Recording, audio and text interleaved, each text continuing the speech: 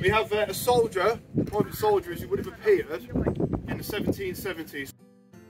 We have the modern day, post 2000. We have two riflemen. Ladies and gentlemen, 230 years. British soldier. So right at the very end, at the, well, the beginning of time, not not quite, but the beginning of our time, we have uh, a soldier, private soldier as he would have appeared in the 1770s. So His Majesty's 33rd Regiment in particular. So there's a brief overview, he's armed with flintlock musket, muzzle loader. There we go. Nice white uh, cross belt, nice bright red coat, bayonet at his uh, side, and a cocked hat as well. So this is the soldier that would have been fighting in the American Wars of Independence, the Revolutionary Wars. Exactly. So 1770s. There we go. Thank you very much. Do feel free to clap because all the living historians are here on their own.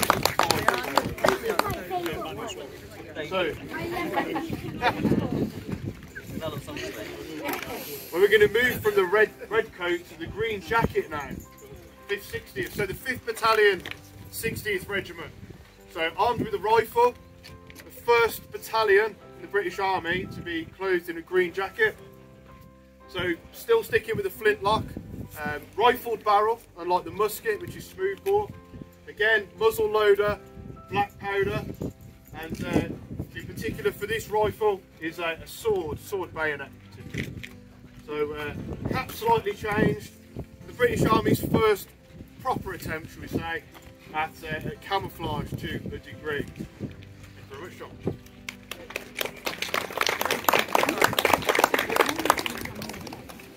Keeping with the rifles theme, the 2nd Battalion, 95th. So very, very similar to the 5th, 60th, but unique in their own way. So again, they have the, the Baker rifle, the infantry rifle. So still flintlock, muzzle loader. Um, we also have the sword bayonet still. Uh, if you want to spin round, actually, sure The best side is the knapsack, mess tins, uh, great coat, and in there's his undress uniform, cartridge pouch, haversack with his day's rations in, and a canteen as well, and that's the sword bayonet just here. Excellent. This is the British soldier as he would have appeared, or the British rifleman as he would have appeared at Waterloo in 1815.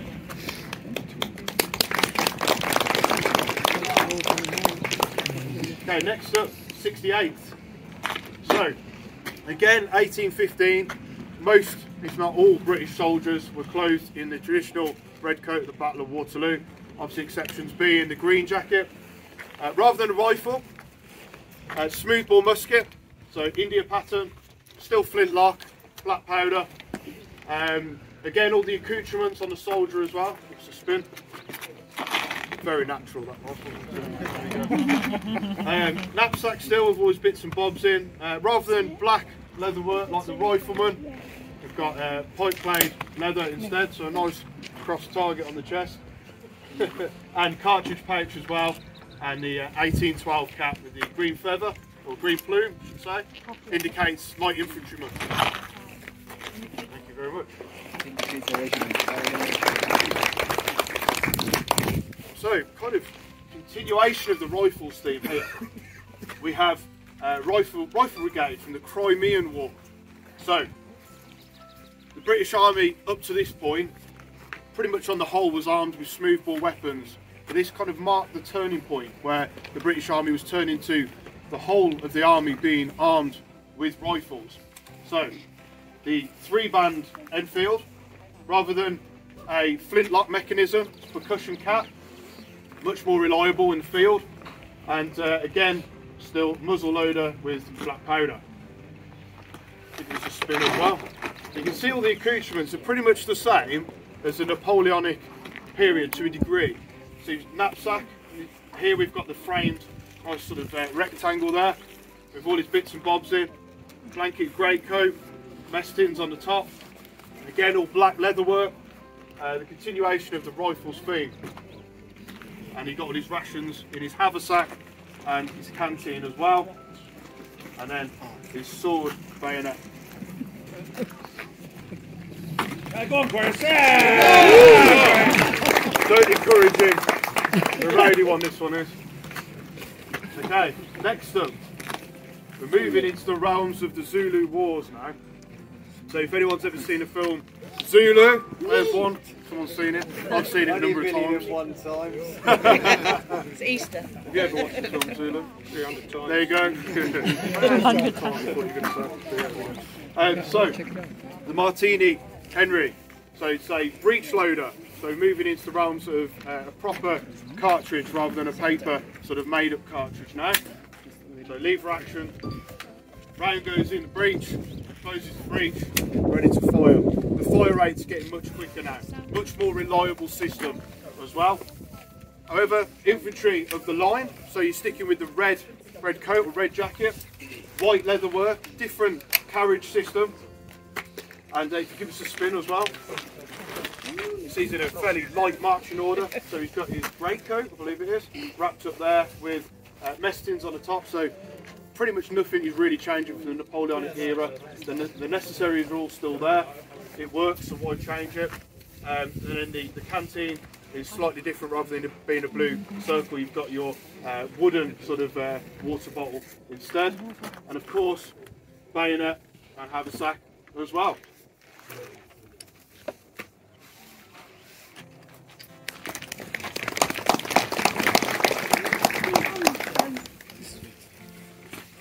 Rifle volunteers. Excellent. Wanted to double check that. So, same period, but these are this chap is a rifle volunteer. So, armed with the same weapon, I believe.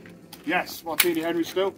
So these are the 95th, 5th, 60th, plus 40 years, essentially. So he's in light infantry rifle tactics at the time. Uh, these are volunteers, so still clad in green, but you'll notice this is different to the, the red coat that we had. So even though it's the same period, most of the British Army was in red, but the continuation is still there lurking in the background of moving into uh, green. Gives a spin as well. Don't leave you out.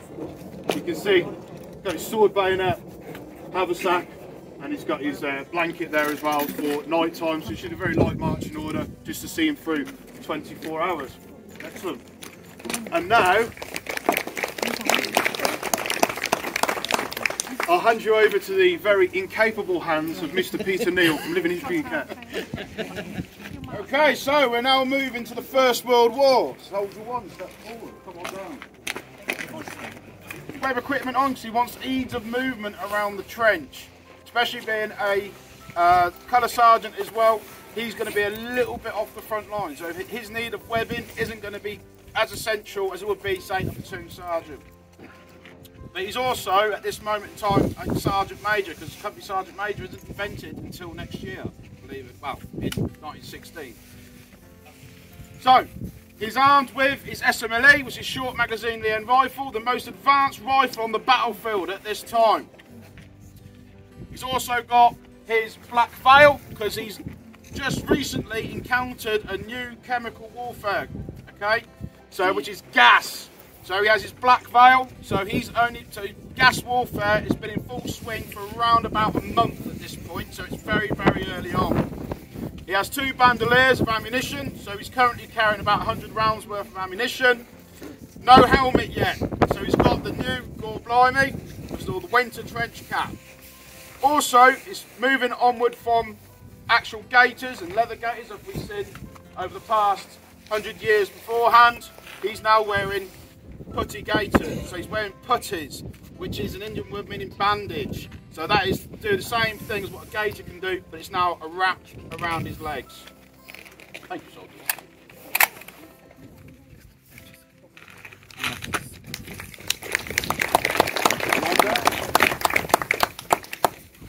We're now moving into the following year of 1916. So what you see is one of Kitchener's soldiers on the Battle of the Somme in July of 1916. So he's still armed with his short magazine Lee Enfield rifle, but he has now got the newfangled helmet. So he now has a helmet to wear to go into battle. Something he's also got as well is his web equipment. Now this web equipment was originally used as an emergency stopgap, but it did find its way onto the Western Front because where the normal regular army were using canvas equipment, leather equipment made its appearance. So you'll see a lot of soldiers in Kitchener's Army on the Somme onwards wearing the 14 pattern webbing equipment. He's also got, gas warfare has also evolved, turn to your side. In here is his PH hood, meaning phenate hexamine. So that is a hood that goes over his head with two eyepieces and a flutter valve for him to breathe out of. Onto the back, he has his haversack. Now this haversack in full marching order would go around to his side, was only designed to carry his rations. But at this point in 1916, they're starting to put their personal items into it. So when he goes into action, it's now on his back. And you've got his mess tins hanging off the back to save space, where he could also put other items so he can carry more stuff with him.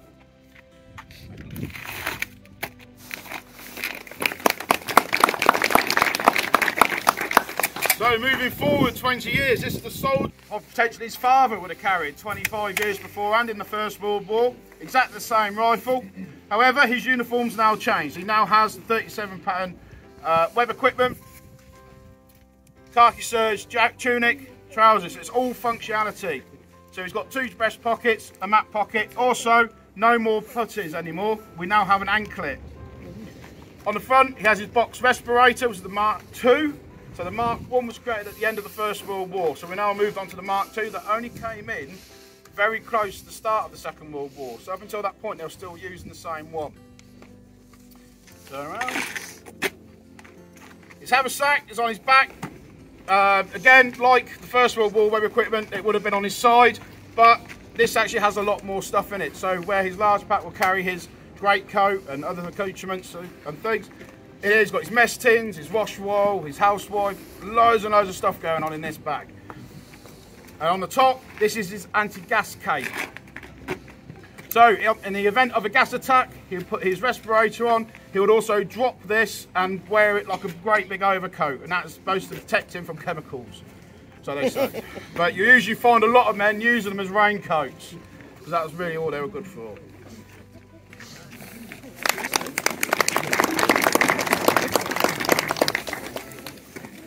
Now for something completely different.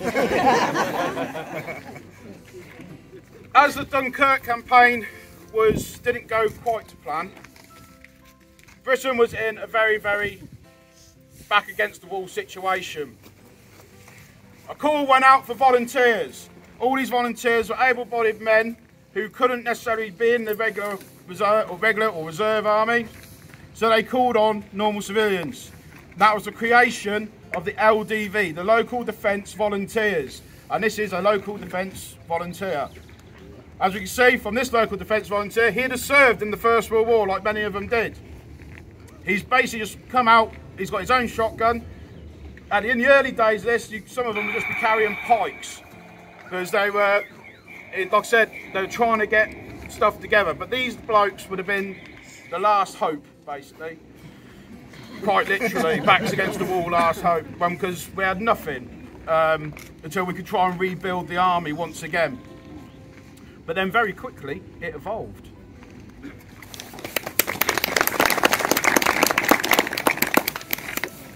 The local defence volunteers then evolved to the Home Guard. As you can see, he's more soldier-like now. He's got his own web equipment, which was unique to the Home Guard.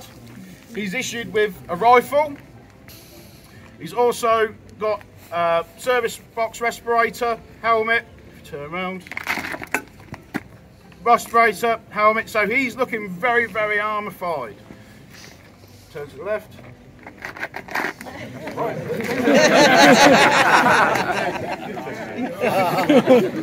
he got it so at this point now, the Home Guard, if the Germans had have invaded, they had defended key points.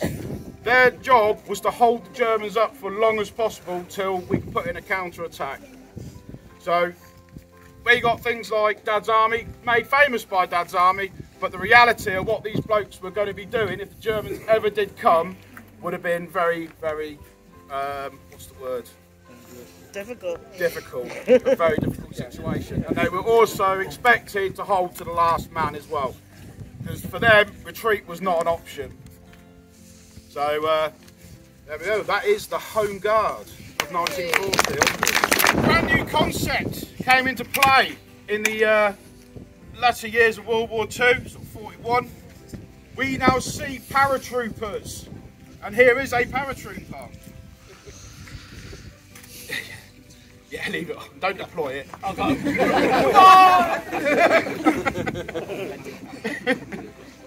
he has also got his new issue number four rifle, which is a cheaper, easier to manufacture version of its uh, predecessor, the short magazine Lee Enfield rifle. So this is what the British soldier is being issued from this point on. However, both rifles will still be used side by side until the end of the war. So our paratrooper, he has his oversmock, his Denison smock, which also is his sort of emblem of airborne forces. So it's unique to them. So he's got his oversmock in there. He'd have uh, grenades uh, in these little pockets down here. And inside here, he'd have his small pack and things like that.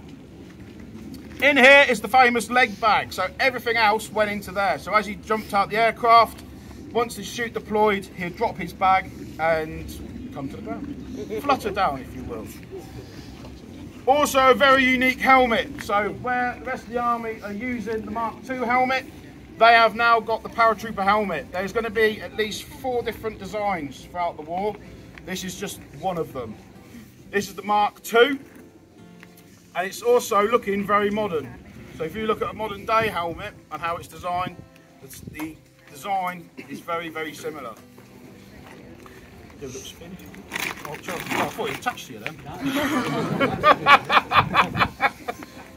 and here's his parachute. So soon, so that would obviously open up and he would flutter down. Um, and that would just get dumped. So as soon as he landed, it will come off. Same with the smock, everything get dumped. Everything else he had in his bag will go on and he'll just disappear. So that is the British paratrooper of World War II. Because in World War II, although during the First World War, the tank made its first appearance on the battlefield. However, it's in World War II that the tank regiment really get their spurs, so to speak. So this soldier here is a tank commander in the Northwest Europe campaign. Why? Because he's already wearing his ribbon for North Africa. So he would have been a veteran of the North African Tunisian campaign, potentially Italy as well, and they get pulled back because 7th Armoured were pulled back to go and invade Normandy. So he would have been in the Normandy campaign. As you see, he has a pistol. What else you got? That's all you got. Eh? That's about it. Fight light, literally. Everything else carried on. Yeah, everything's all on the vehicle. Simple, yeah, absolutely. and that, that's a tank commander of Northwest Europe in 1944. Come on down. Another concept was born in World War II is the SAS, or the Special Air Service. They were highly trained commanders, so the concept of what the SAS are today isn't what the SAS was when it was first born. They're raiding troops. They'll go far behind enemy lines and vehicles, cause as much havoc and mayhem as possible, and they were very good at it. Come to the latter part of the war, out the Tunisian campaign, uh, North Africa, uh, start again. Of the North Africa campaign, through Tunisia, into Sicily, Italy, they then made their way to Northwest Europe. So as you see, our SAS Trooper is now in Northwest Europe. Instead of wearing Denison smock, he's got a windproof smock. It's getting very do what I like with the SAS at this point. He's, he fights light. Why? Because he's working from a vehicle. So he's they're working with jeeps constantly. Because by 1945, they're being used as like an armoured reconnaissance. So all he has is his Thompson submachine gun, a pistol, and literally inside his smock will be ammo, ammo and grenades. He's jumping off vehicles left, right and centre. And I will now hand you over to the capable hands of Dominic Bly of Living History UK. Thank you very much, Peter Hill from Living History UK, everybody. so, at the end of the Second World War, the British Empire starts to decline. And as part of this, several wars are being fought around the world. So here we have Private Teron of the 1st Battalion Royal Rhodesia Regiment. In 1959, the independence movements of several Central African countries start coming to fruition. So, he is equipped for the African climate. He's wearing a jungle green uniform made of light cotton. So in the African climate, a very, very uh, comfortable uniform to be wearing.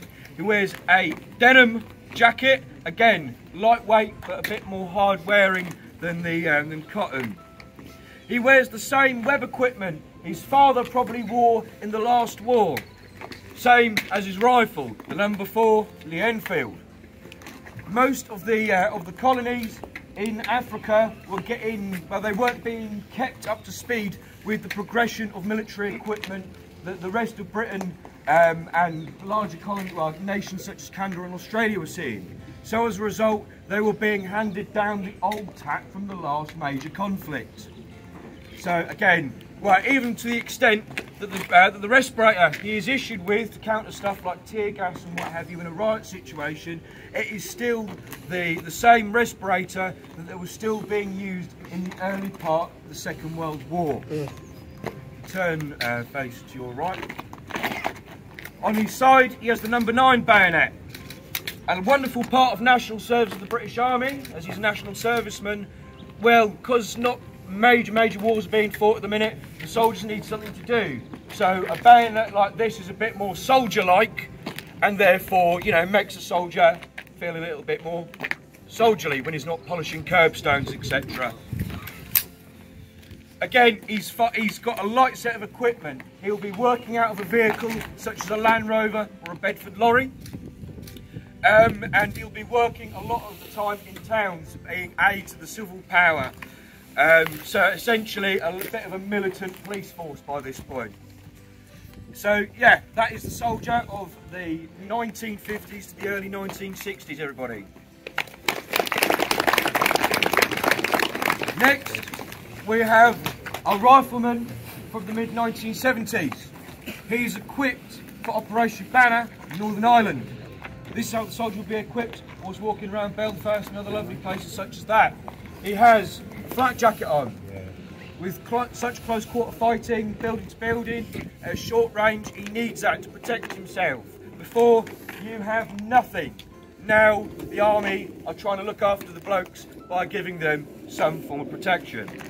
He wears a camouflage jacket, olive green trousers, and he has the brand new rifle, no, more or less brand new at this point, the L1A1 self-loading rifle. That's sort of about it, really. and now, we have the modern day, post 2000. We have two riflemen, one representing 2005, the Iraq War, and on the right, 2010 in Afghanistan. Much more, they're not weighed down as heavily as their predecessors. They're not, yes, they are doing routine patrols around towns, etc., but they are still fighting from vehicles. They're not, they're not laden down with the extreme amount of, of weight as we've seen over the past 230 years because they don't need to carry stuff like boot brushes, you know, spare socks uh, all the time, toothbrushes and all that cobblers because they're working out of an area, working out of a vehicle. So the equipment itself is designed for the vehicle in mind. There's nothing hanging really, apart from his gloves, below the waist. it is all hanging high quite up, so when he sits in the back of an armoured vehicle, or Land Rover lorry, etc., it doesn't encumber him, especially when he um, in, his, in a situation where he needs to exit the vehicle quickly. They're both armed with more or less the same rifle, the SA-80, which has a history which some people may know, being an interesting thing. But again, a modern rifle for a modern time. That's more or less it. That, ladies and gentlemen, 230 years. British soldier.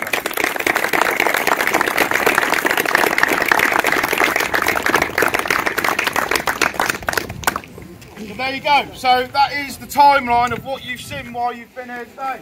We hope you've really enjoyed yourselves, but although we organised the event, the event wouldn't be possible if it weren't for these guys stood behind us in their respective groups. So give them a massive round of applause.